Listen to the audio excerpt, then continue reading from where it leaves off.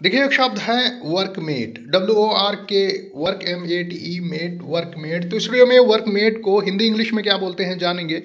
Example से sentences में शब्द को यूज़ करके अच्छी तरह से समझेंगे। तो चलिए वीडियो को स्टार्ट करते हैं और समझते हैं शब्द को, क्या अर्थ और मतलब होता है वर्कमेट का। देखिए वर्कमेट बोलते हैं साथ में काम करने वाला कोई व्यक्ति मतलब सहकर्मी को। सहयोगी, मित्र, संगी, साथी सह कार्यकर्ता दोस्त, सहकारी काम काज का साथी या हमकार को हम बोलते हैं वर्कमेट इंग्लिश में वर्कमेट को बोलते हैं वर्क फेलो कलीग को worker fellow worker team mate associate partner को partner comrade companion friends and ETC मतलब और भी इंग्लिश में इसके वर्ड्स हो सकते हैं।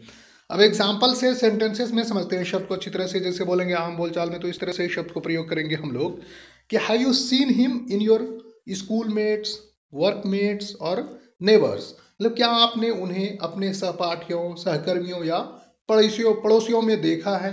दूसरा एग्ज़ाम्पल है कि I was afraid that my workmates would make fun of me मतलब मुझे डर था कि मेरे सहकर्मी मेरा मज़ाक उड़ाएँगे। मेक फन का मतलब मज़ाक उड़ाना।